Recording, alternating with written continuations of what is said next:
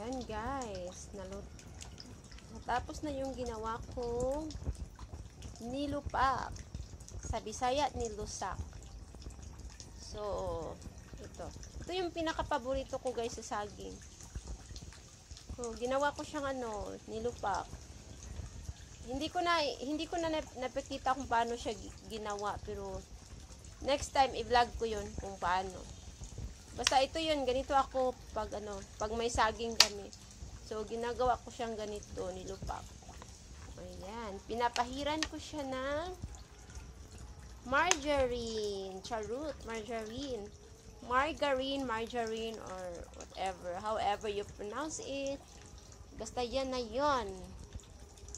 Ito. So, ganyan ako guys. Yan. Ako lang naman kakain dito kasi um, ah, ako lang naman dito. Tao dito. Kaya, ah, mahilig ako magluto kasi ako lang nandin naman ang kakain sa niluluto ko. Yun.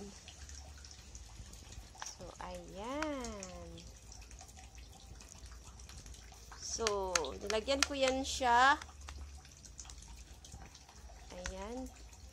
Bawat gilid, nilagyan ko siya. Para masarap. Ayan. Hilig kasi ako sa margarine. So, ano na ngayon guys? Um, 11 na yata ngayon. 11 a.m. Pero, late ako nag-snack. Matagal kasi to maano guys, ma matagal ka, kasi to siya ma yung process nito kasi kailangan mo pang lutuin. Kailangan mo kailangan mo pang ilaga yung ano, yung saging. Tapos imo, ah, kailangan mong ibukbok. Ano yung bukbok sa Tagalog? so, yun. Ayan, ready na to guys. Ready na to. Ayan. Ayan na. Ayan. Ang sarap.